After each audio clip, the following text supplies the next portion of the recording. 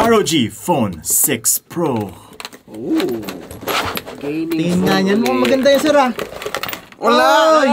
Walang laban! Kasi guys, wala pa sa ating bansa yan. Naka-release lang sa ibang bansa nito. Global launch ng ROG Phone 6 Pro and ng 6. Actually, ito yung pinaka-exciting na gaming phone. I have to say, Nako. Totoong totoo. walang I sinabi agree. si Red Magic dito. Walang sinabi si Black Shark dito. Ibig sabihin, sir, pag nagkaroon ka niyan, yan na ang gaming phone mo.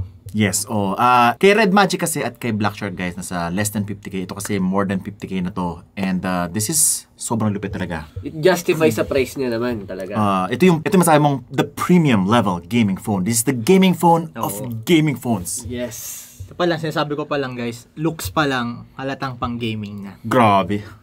May itsura niya. Yan yung bagong itsura ng ROG Phone 6. No? Meron na siyang pa, pailaw sa likod. May display na na gumagalaw na ganyan. Grabe. Para siyang Gundam, no? Parang ganda ang itsura niya, sir. It looks so elegant. It's It looks so high-tech. Ah, yung likod niya pala ay parang glass ata. And uh, the body is made out of aluminum. Grabe, ang ganda. Oh. Lakas ng dating. Pag nakita mo to, hmm. Sa likod pa lang, guys, may screen na for the first time sa mga smartphones. Ito yung overkill sa Mobile Legends kapag nilalaro mo. Ilan hertz ba screen na ito, sir? 165 hertz, guys. What? For that gaming phone. Kailangan mo ba ng 165 hertz? 65? Yung, Well- yung ex ko nga daw ko ng hurt eh. Okay lang yan. Okay lang yan. I don't need 165 hertz. Kahit isang hurt lang, okay na ako. Nag-sad boy. Pero yun, ah, going back sa kanyang specs, no, Snapdragon 8 Plus Gen 1 din siya. Yes, parang sa phone na inano natin kahapon. Parang si Xiaomi 12S Xiaomi. Ultra lang, di ba? Siya pala yung pangalawang smartphone na merong 8 Plus Gen 1. Teka lang, sir. Paano kung na-curious ako, saan ko ba makikita yung specs nito? May website ba si Unbox Well, of Diaries? course, we're looking at it right now. Unboxdiaries.com. Ito po yung specs Oh. page natin, guys. Ng, ah, lagi pong may ganito, guys, ha. Meron na tayong specs page ng mga phones kapag ka may bagong lumabas. We've got it all for, you. Ah, so, dito na yung mga specs niya. Ayan po. Ma- madali mo siyang mababasa dito. Alam mo agad yung kung ano yung specs niya. Wala masyadong distraction dito sa aming page. Ayun, ang linis tingnan. And uy, AMOLED display na, 6.78 inch, 1 billion colors, HDR10 plus na siya. 1 billion colors? Yes. Actually, ang nagusto ko dito kay uh, ROG phone, Yeah. kasi hindi siya yung the usual gaming phone na nasa ilalim mo kanyang USB port, no? Nasa, Oh. ga, na, nasa side siya.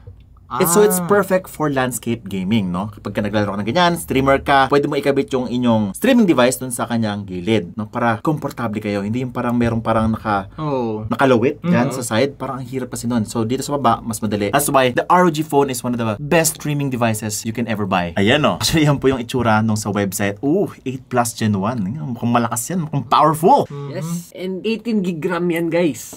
Super overkill. Grabe. Saan mo gagamitin yung 18 gig RAM, sir? Uh, pang uh, complete. Ah, Ano na naman yan bubuksan mo? madami na akong mabubuksan Na ano? Chrome tabs Ah. at the same time. Chrome tabs. Hindi na siya maglalag, guys. Ang dami ko ng telegram siguro nun. Sabay-sabay. The day that I met you. na, na, na, na, na. Ayan po ang itsura ng kanyang display. Ang ganda talaga. Actually, major improvement yung kanyang thermals, no? Ah, mas less daw yung kanyang pag-init. Mas maganda din yung cooling niya. And we've also got new accessories. Ayan po. X-Haptic. Meron pa daw siya yung bagong kunay. Bagong cooler din. Ayan, no? Wow. Guwapo. Ang ganda. Parang siya naka-backpack sa likod. May backpack. Yun nga eh. Oh, no? High-tech na backpack. Napaka-futuristic na itsura, sir. Yes, it looks like a monster. Ayan, may pailaw sa likod. Ooh, wow. That, that's amazing. Ayan po yung kanyang bagong controller. Grabe yung itsura niya, no? The Kunai 3 gamepad. Para na siyang Nintendo Switch, oh. Pag tinignan mo ng... Yan, pag pangit yung Nintendo ano. Switch. May Mobile Legends pa si Nintendo Switch. Ay, wala. Kaya yun guys, pangit na yung Nintendo Switch kasi wala siyang Mobile Legends. At bro, grabe yung kanyang battery, 6,000 mAh. Sila Yeah, Black Shark, 6,000. 5,000 lang. Ito 6,000 mAh. Pero syempre, iba pa rin yung charging ni Black Shark. 120 Ay, oo, watts. Ito 20 65 watts Oo. lang. Eh, paano pa kaya si Realme na meron 160 watts na charger brick? Oo, at saka Diba? Naruto pa yun. Ito, Gundam to eh. Ayan yung camera niya. Wow! Sony IMX766 yung nilagay dito na camera. Ang angas nga ng ano, itsura ng camera niya. Oh. Yes, and for a gaming phone, hindi natin i-expect na magkakaroon sila ng Sony IMX for a gaming phone, guys.